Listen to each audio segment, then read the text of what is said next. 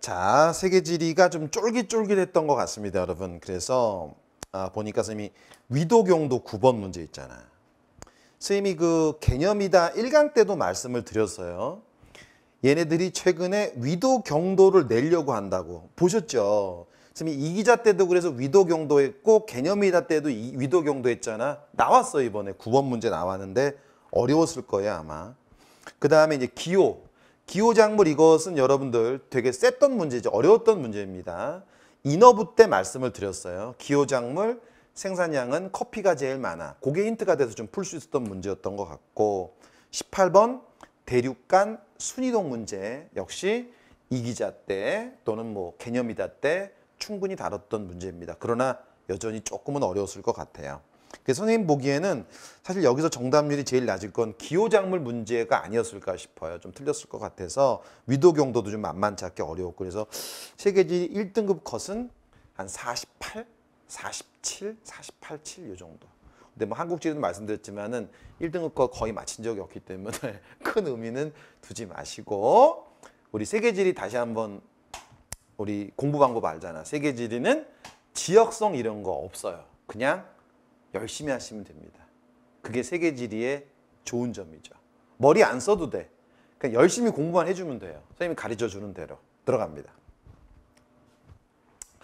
1번 뭐 틀리지 않았을 거야. 프톨레마이오스 지도고 우리나라 뭐 그렸던 지구 전후도예요. 자 항해 목적 이런 지도를 가지고 항해 이런 지도를 가지고 항해를 한다면 그 마지막 last voyage라 그래요. 그죠? 음, 마지막 항해가 될 수 있다. 자, 항해 목적은 메르카토르 도법하고 우리가 중세부터 메르카토르 도법 나올 때까지 널리 이제 우리 썼던 포르톨라노 해도 그 나침반 그려져 있던 거죠. 그다음 2번 서양에서 제작되었다. 이건 이제 서양이지만 이거 동양이죠.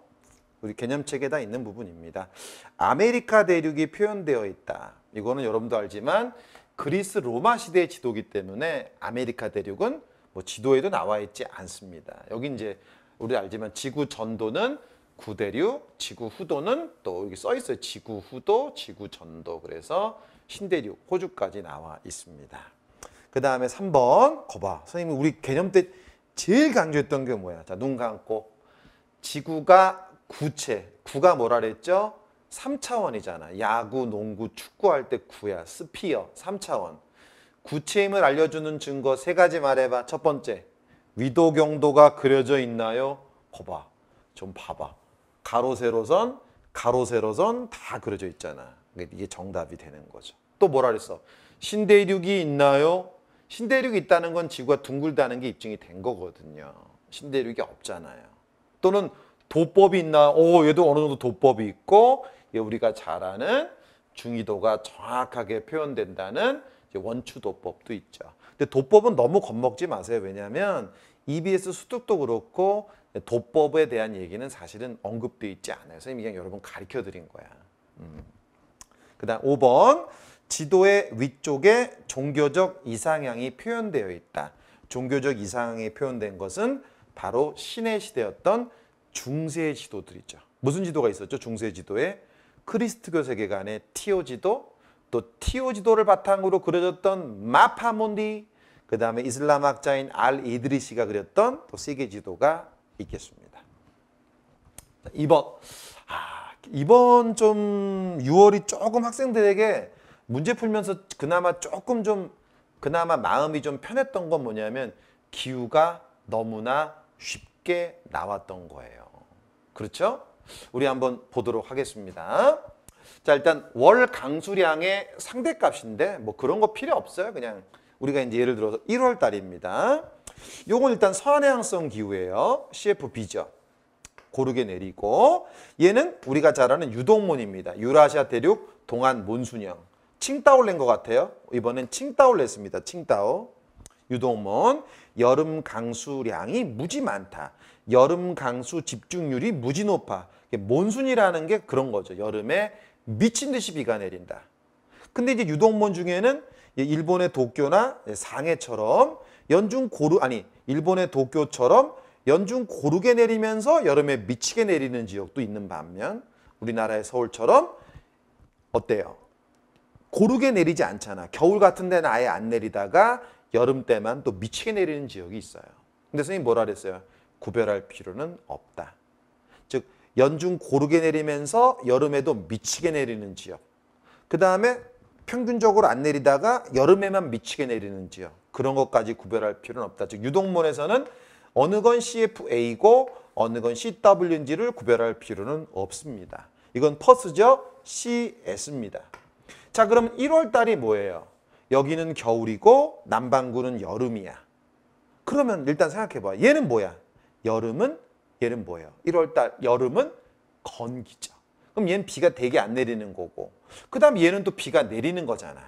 그러면 뻔한 거지 뭐. 뻔한 거잖아. 그럼 얘도 지금 답이 나온 거지. 얘도 지금 안 내리는 게 될 수밖에 없는 거잖아. 둘 다 많이 내린다고 내, 낼 수는 없잖아. 지금 두, 지금 많이 내리는 쪽은 하나밖에 없다면 그거는 당연히 얘가 답이 될 수밖에 없는 거죠. 그 요게 이제 A가 딱 돼요. 근데 그걸 떠나서 얘네 둘은 지금 강수량 패턴이 똑같으니까 이 자료로는 구별을 못 하는 거죠.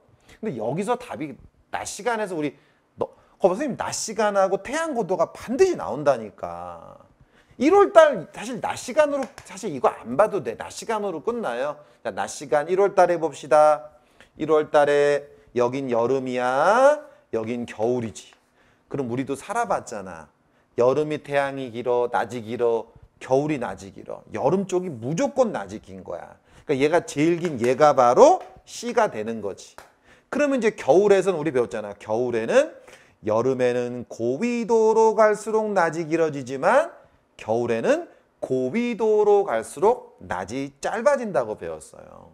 그러면 누가 제일 짧은 거야? 얘가 제일 짧은 애, 얘가 A가 되고 얘가 B가 되는 거죠. 낮 시간 잘 갖고 노셔야 됩니다. 그것도 어려우시면 이렇게 생각해도 돼요. 선생님이 하나만 예를 들어줄게. 그림을 그리라 그랬잖아. 정 어려우시면. 되게 쉬워. 그림 그리면. 이거 자전축이에요. 적도예요. 요건 이렇게 밤이겠죠. 그러면 남극 대륙은 돌아도 돌아도 태양을 못 보는 낮이 빵 시간. 6월 달을 기준으로 말한 겁니다. 그 다음에 북반구는 돌아도 돌아도 낮이니 낮이 24시간. 적도는 언제나 12시간이에요. 그래서 어려우시면 6월 달에는 이 남반구 쪽을 중심으로 0, 10, 12, 24야. 그러면 거꾸로 되는 건 뭐냐면 얘는 지금 1월 달이잖아. 1월 달은 거꾸로 어디가 돼? 여기가 24, 적도 12시간, 극지방이 0시간이 되는 거죠. 그림을 가지고 풀어도 되고 자기가 편한 대로 쓰세요. 음, 좋습니다. 답이 그럼 나오죠? 어, 그래서 이제 가는 A요, 나는 C고, 다는 B다.